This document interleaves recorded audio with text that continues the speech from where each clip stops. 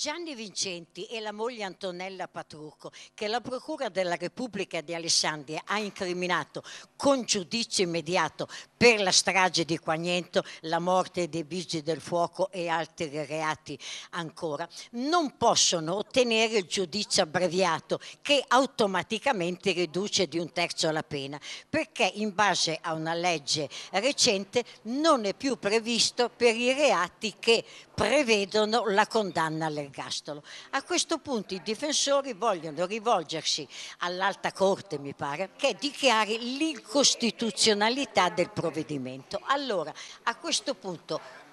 cosa può succedere? Il giudice ritiene che la norma sia costituzionalmente legittima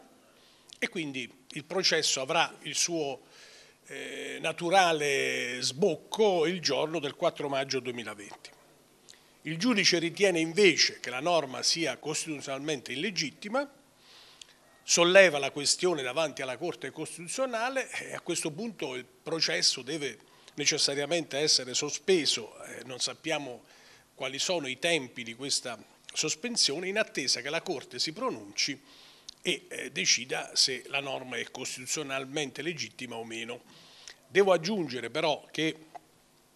questa eh, diciamo, eccezione dei difensori, degli imputati, è un'eccezione che è stata già accolta da altri giudici eh, italiani e quindi la Corte Costituzionale già eh, sul punto deve già pronunciarsi per altre questioni analoghe che sono state eh, poste sulla stessa, stessa norma dell'articolo 438 del Codice di procedura penale.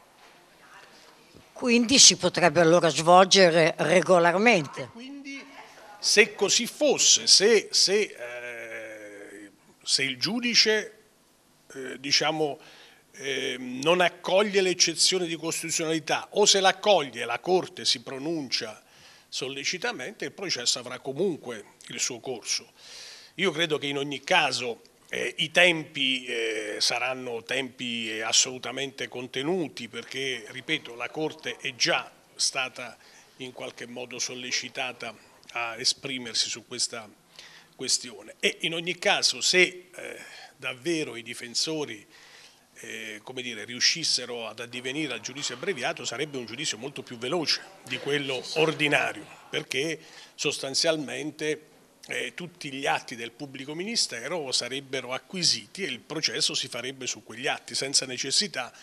di rinnovare le testimonianze, le perizie, le prove e quindi di svolgere un dibattimento nelle forme ordinarie.